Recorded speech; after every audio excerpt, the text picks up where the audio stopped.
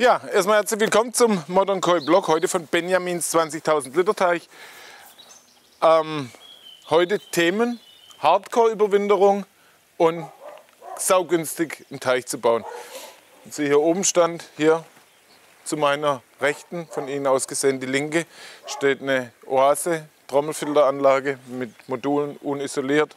Hier der Teich, er hat 20.000 Liter, sind vielleicht 5 auf 5 Meter. Ist nicht ganz so tief, so ein bisschen mit Stufen nach unten gehend. Habe ich ähm, Benjamin gefragt, wie alt ist der Teich? Drei Jahre. Sag ich, und wieso ist er nicht so tief und warum hast du es so stufig gemacht? Sagt er, er hat ihn von Hand ausgegraben, direkt hinter der Mauer hier ist ein Bach. Er konnte nicht mit Gerät reinfahren und er hat Angst gehabt, wenn er gerade absticht, dass ihm dann alles einfällt. Mauern wollte er nicht. Er wollte die Folie gerade so aufs Erdreich legen. Also einfach die ganze Geschichte machen und, ähm, und dann sagt er uns, ist auch noch praktisch. Die Koi können Sie auf den Stufen ablegen. Und zum anderen, er hat zwei Hunde, ein, kein neues Fund, ein Landseher und ein Labrador. Also große Hunde und der sagt, für die, die springen auch in den Teich rein und für die ist es relativ einfach, dann wieder rauszukommen. Also jeder, der einen Hund hat, sollte auch daran denken, gerade bei solchen Teichen wie dieser, wo alles so glatt ist. Die Hunde haben da echt Schwierigkeiten. Hier haben wir so WPC-Platten, ähm, wie der Olli, und die können dann auch rutschig werden. Da kommen die mit ihren Krallen, kriegen die keinen Halt. Also man muss da schon eine Ausstiegsmöglichkeit schaffen und so. Und dann habe ich gefragt, und was hat der Teich gekostet? Ja, ist hübsch gemacht, handmade. Dann sagt er, frei raus, der Teich, Folie, 270 Euro und Bodenablauf 50, Skimmer 50, bisschen Rohrleitung. Das heißt also keine 1000 Euro. Sagt er, nein, keine 1000 Euro. 20.000 Liter, keine 1000 Euro. Er hat keine, wie wir im Schwäbischen sagen, Ferz gemacht, von wegen, das wird ein riesen Ding ausgehoben, Arbeitsraum, dann wird gemauert, dann wird alles abgezogen, gemacht, dann entweder laminiert oder dann eine Folie auf, auf Maß konfektioniert. All den Killefit hat er nicht gemacht. Loch im Garten, Folie rein, fertig. Am besten noch gut, hängt jetzt immer von der Bodenbeschaffenheit ab, wenn Sie einen sandigen Boden haben, ein, ein, ein steinfreier Boden, das ist ja immer die Frage, wo lebt man, ähm, was hat man für einen Boden, der ist natürlich geologisch gegeben. Aber wenn der Boden es zulässt, kann man auch die Folie direkt aufs Erdreich legen. Ich kenne genügend, genügend ähm, Gegenden, wo das der Fall ist. Ansonsten haben wir ein Fließ drunter, kostet auch nicht die Welt. Ja? Hat man für ein paar hundert Euro hat man einen, einen Keuteich. So. Und dann habe ich gesagt, weil hier steht eine Picobello Oase Filteranlage, jetzt nicht die große, sondern die kleinere, das Trommelfiltermodul. Und dann sage ich, für die Filteranlage hast du 4000 bezahlt. Dann lacht er, sagt er, nee, die ist bei Köln so, war das Ausstellungsstück. Ja? Und die haben den neuen Typ dann reingekriegt, mussten den loswerden. Und der ist da schon ein paar Jahre gestanden, 750 Euro, sagt er, läuft, pfennig gut, noch nicht einmal ausgestiegen, wunderbar. Dann hat er noch zwei günstige Pumpen hingehängt, jetzt keine Oase in dem Fall. Und also der Teich hat keine 2000 Euro gekostet und das ist natürlich sensationell.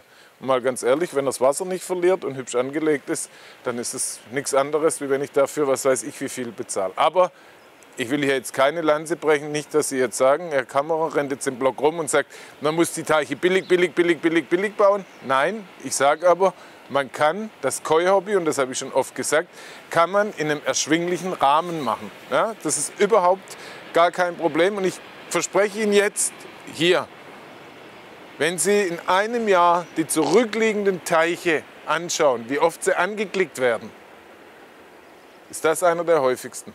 Weil wir haben überall die Pyramide. Die Super-Jürgen-Kirchner-Gärten, da träumen wir alle davon. Ja? Aber die kann sich leider kaum einer leisten. Und je weiter die Pyramide nach unten kommt, je breiter sie wird, desto mehr haben wir dann plötzlich solche Teiche. Und wir haben es im Home Entertainment gesehen, auch viele ganz einfache Teiche. Und wenn ich mir jetzt angucke, ich weiß ja, was ähm, Benjamin für Fische kauft, seit Jahren bei uns. Der holt sich kleine Tosei. Jetzt war er letzt wieder da für sein Aquarium. Da zieht er die ein bisschen vor. Hier hat er Kavari Mono von uns. Das sind häufig Fische für 30, 40 Euro das Stück. Ja?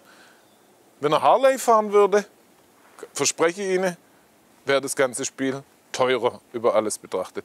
Allerdings bei einer Sache, da sind die Teiche dann gleich, egal ob sie billig oder teuer bauen, das ist der Unterhalt. Und da haben wir ja schon mal das ganz interessant ausgerechnet und witzigerweise, da hat man nicht diese Teichgrößenersparnis in dem Sinne, wenn Sie ein richtiges professionelles Management machen wollen, den Teich einmal pro Stunde über den Filter leiten, entsprechend Wasser wechseln mit Medikamenten, mal eine Parasitenbehandlung, dies, das, Keufutter, was Sie brauchen, können Sie rechnen 10 Cent pro Liter im Jahr. 20.000 Liter mal 10 Cent sind 2.000 Euro. Rechnen Sie rund 180 Euro, 170 Euro im Monat, was Sie der Teich kostet. Und da habe ich gerade auch Benjamin gefragt, kommt das ungefähr hin? Sagt er, das kommt ziemlich genau hin, so roundabout. Aber wenn Sie sich einen 100.000 Liter Teich bauen, dann haben Sie entweder 10.000 Euro, was Sie investieren in Strom mit allem drum und dran. Sie brauchen die UV-Leistung, Sie brauchen die Pumpenleistung, Sie brauchen die Belüftungsleistung. Die brauchen Sie oder Sie haben extrem wenig oder keine Fische oder fast keine Fische im Teich oder Sie sparen am Management, aber dann sagen Ihre Fische irgendwann, nee, so läuft es nicht. Also lieber ein kleinen Teich, fein gemacht, mit allem drum und dran. Überwinterung.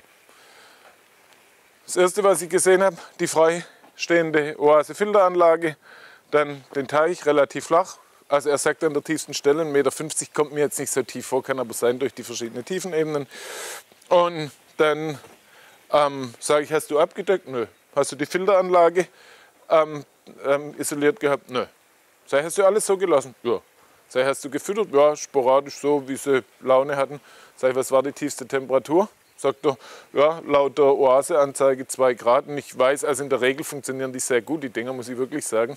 Ich will jetzt nicht für Oase eine Lanze brechen, aber ich habe selber ähm, ja, die Testanlage gehabt mit mehreren Temperaturanzeigen von Oase. Die haben echt immer erstaunlich genau mit unserem WTW den gleichen Wert angezeigt. Und dann sagen, du hast nichts abgedeckt. Ich so, ne, gar nichts. So, die Fische sind unten gelegen, alles gut. Und ich sage Ihnen, die Fische sind hervorragend drauf. Aber auch hier möchte ich jetzt keine Lanze dafür brechen, wo ich sage, es kann Ihnen alles scheißegal sein, weil was Benjamin macht, ist zum einen ein Risiko für die Fische. Das muss nicht immer gut gehen. Und zum anderen ein Risiko auch für die Technik. Weil wenn es irgendwo mal anfängt zu gefrieren, und das haben wir bei Gerhard in der Koi Lodge gesehen, der fast seine Bürstenfilter zerstört hätte, wenn die Scheiße irgendwann anfängt zu kochen, ja, irgendwann explodiert sie und dann friert ihnen entweder das Ding ein, friert entweder das Ding kaputt.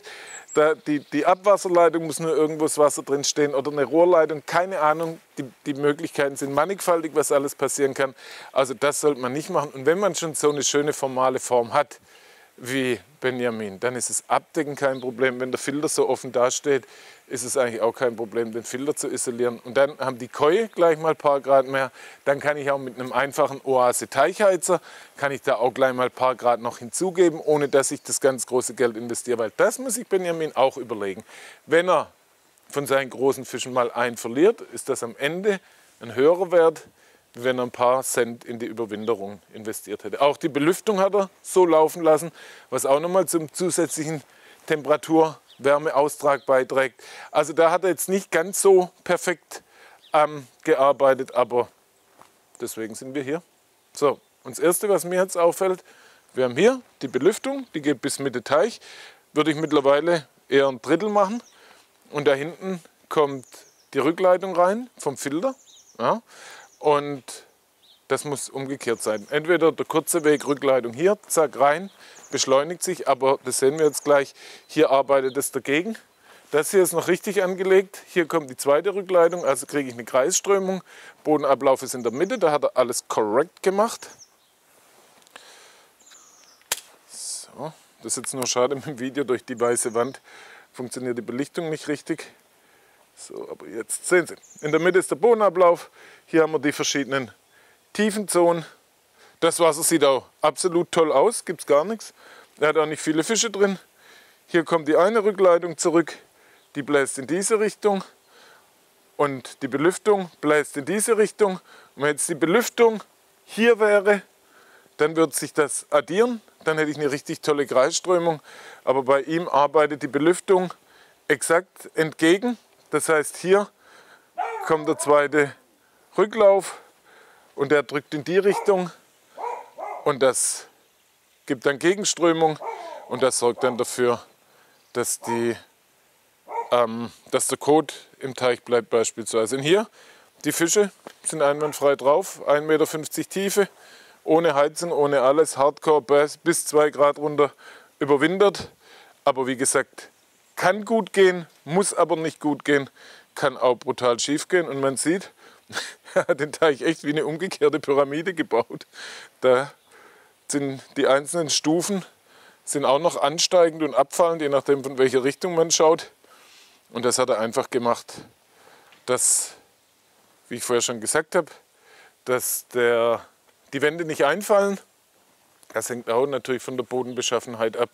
Aber ein einwandfreier Teich, seit drei Jahren dicht. Wenn er drei Jahre dicht ist, wird er auch noch eine Weile länger dicht sein. Timmy macht gerade das Wasser und ich gucke mir jetzt den Trommelfilter hier hinten an.